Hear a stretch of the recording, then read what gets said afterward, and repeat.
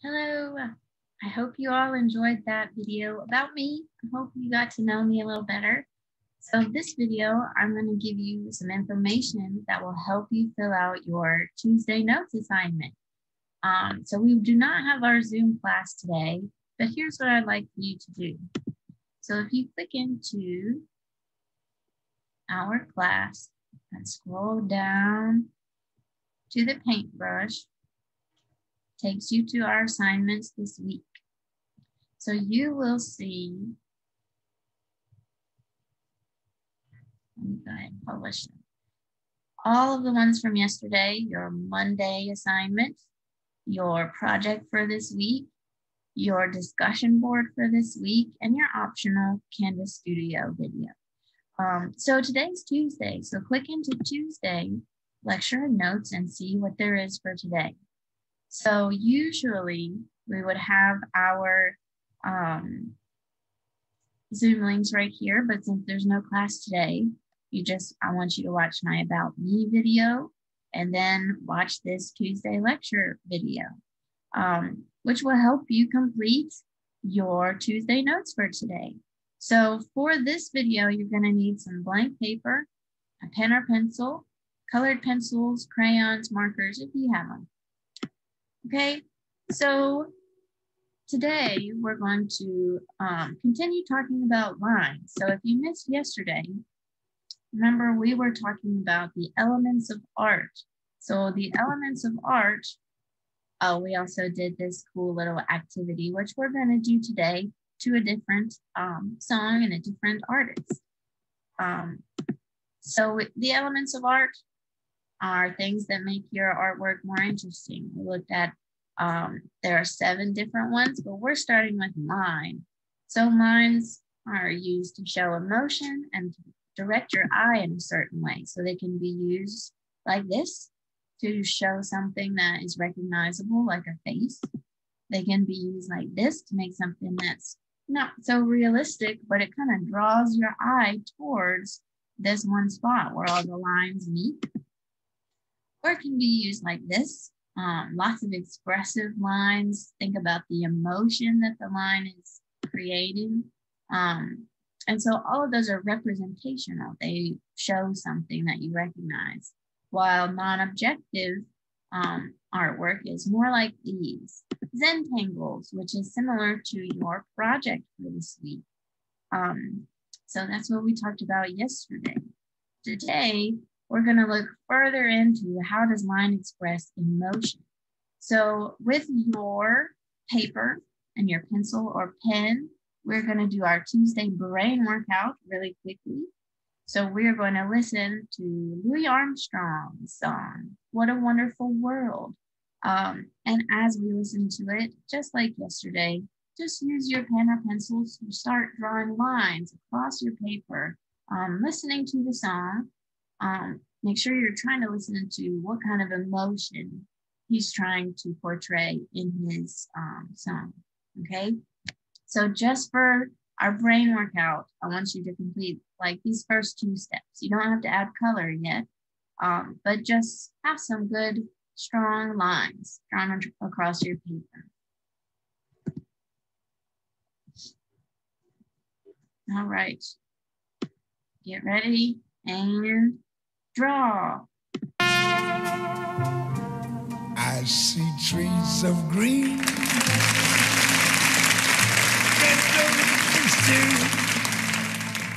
I see them blue for me and you. And I think to myself, what a wonderful world.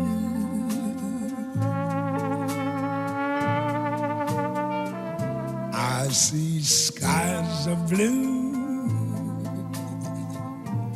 clouds of white, bright blessed days, dark sacred nights, and I think to myself, what a wonderful world.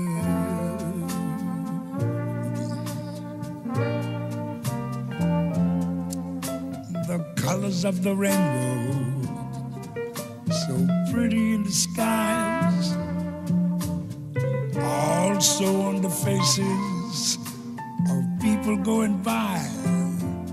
I see friends shaking hands, saying, How do you do? They're really saying,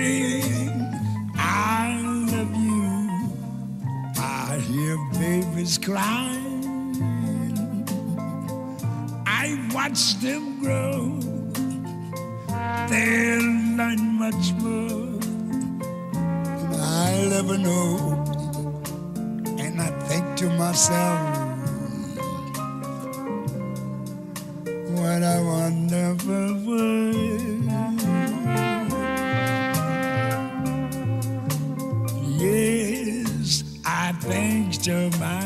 myself,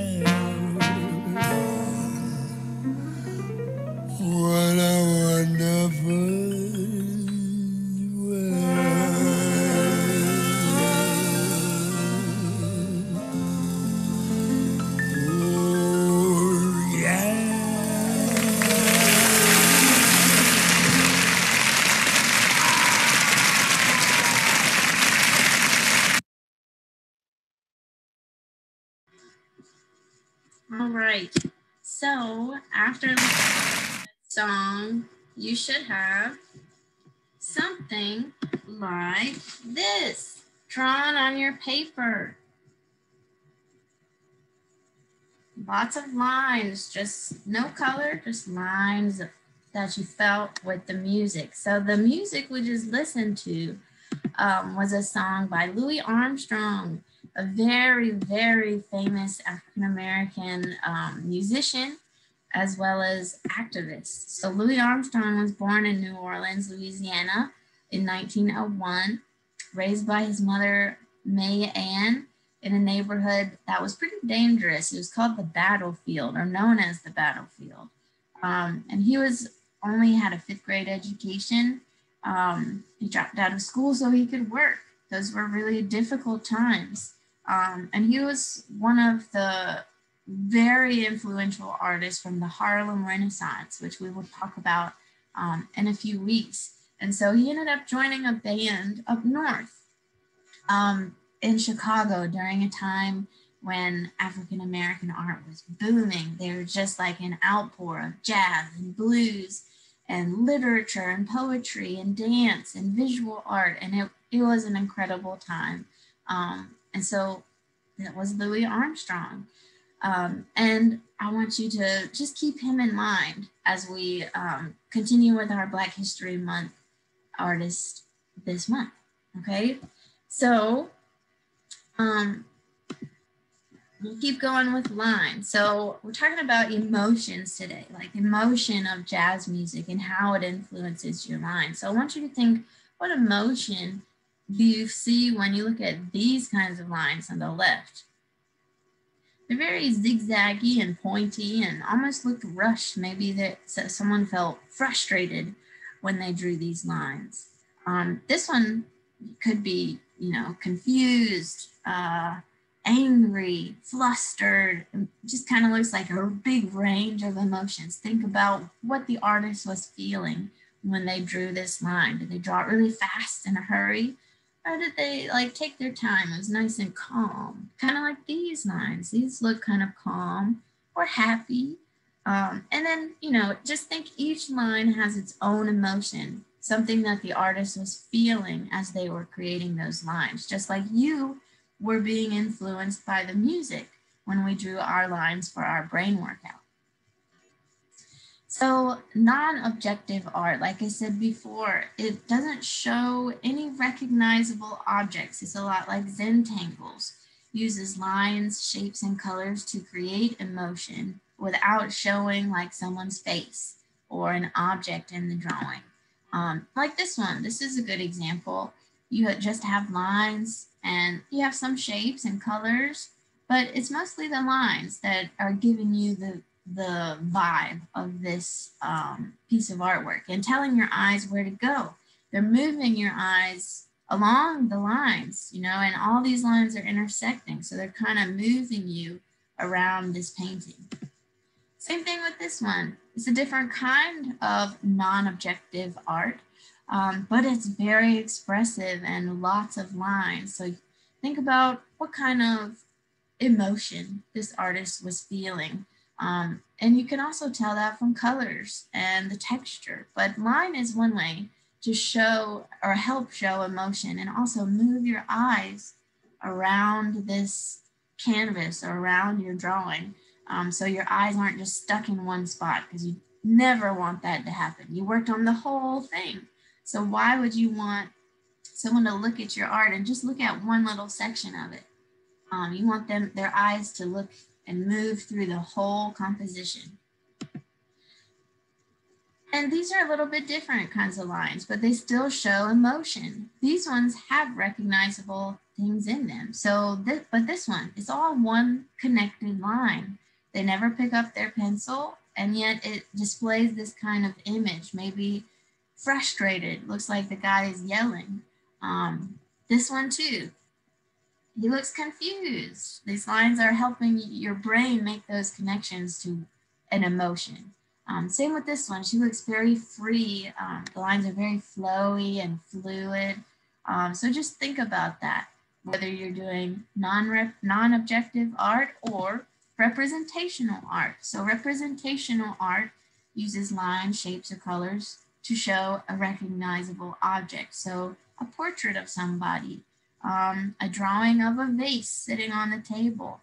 Those things you recognize, you recognize in your brain that they are objects from our world. Um, and so that's what's called representational art. But lines can be used in both.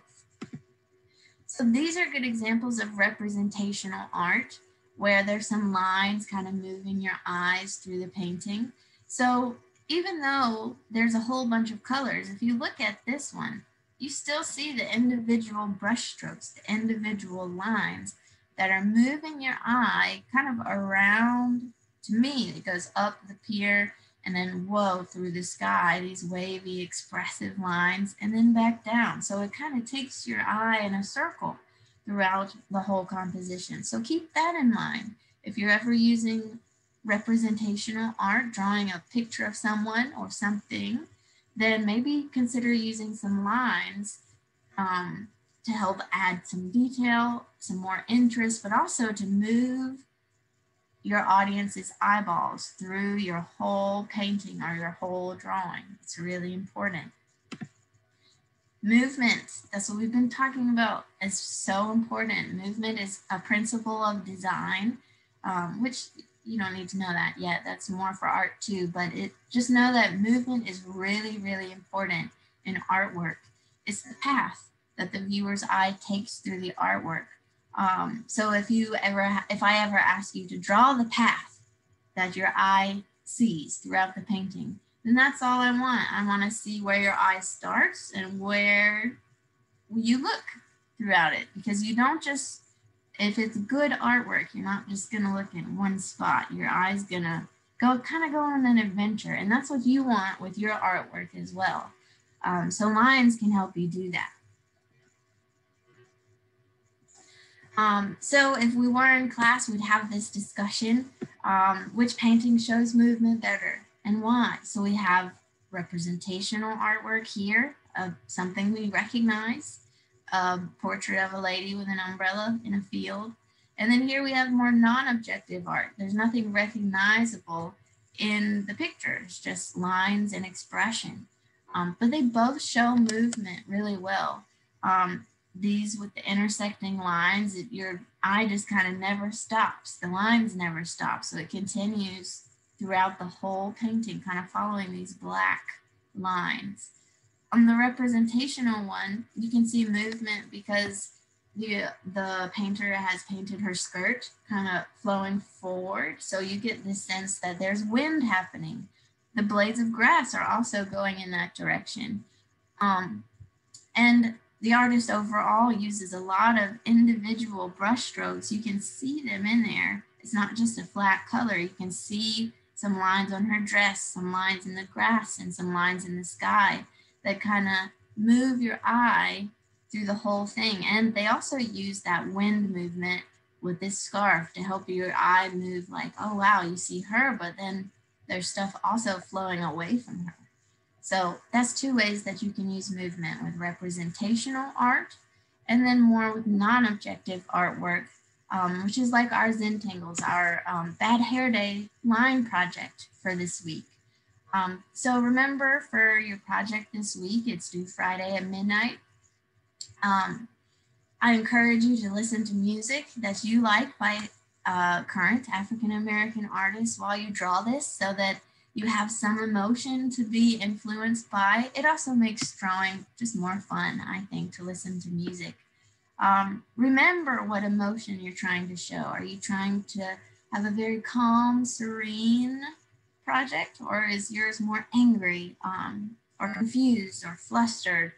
And remember, our March 4th Black History collaboration is coming up. So I encourage you, um, if you find a picture in your scrap magazines of an African American person, or if you want to draw your person instead, remember if you don't have magazines, then you can you're going to draw um, your person.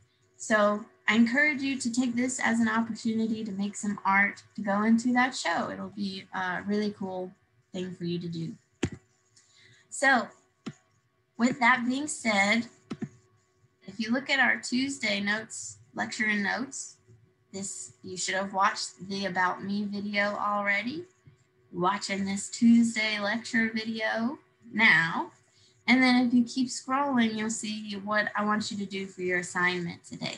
So it's like the same as yesterday. I want you to um, reply to this discussion board by uploading a picture or short video of your colored in abstract line drawing from class, um, the class videos today, and typing your answers to these questions. So remember for our brain workout, we did your uh, page full of lines. So now after class, I want you to take your coloring things and color it in. So anyway, you can color it in any way you want to. Remember mine is markers. Um, and I just filled in the shapes with different colors to make it interesting. But, um, you know, also think about if you're like my lines are very calm and serene. So I might use not oranges or reds or yellows because they're very black and angry.